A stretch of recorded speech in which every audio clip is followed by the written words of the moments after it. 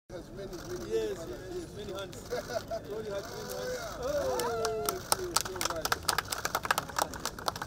take this opportunity to commend our cooperating partners, particularly the African Development Bank, for complementing government's effort in financing this showpiece to declare this first ever climate resilient and all-weather Kalomo, Dundumwenzi, Goma Intergitation Road officially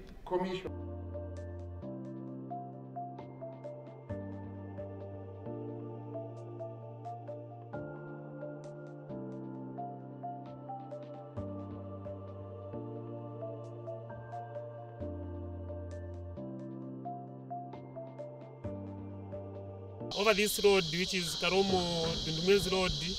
we are so very grateful because it has been helping us so uh, greatly and it is going to help us uh, a lot. In terms of transport, and the farmers around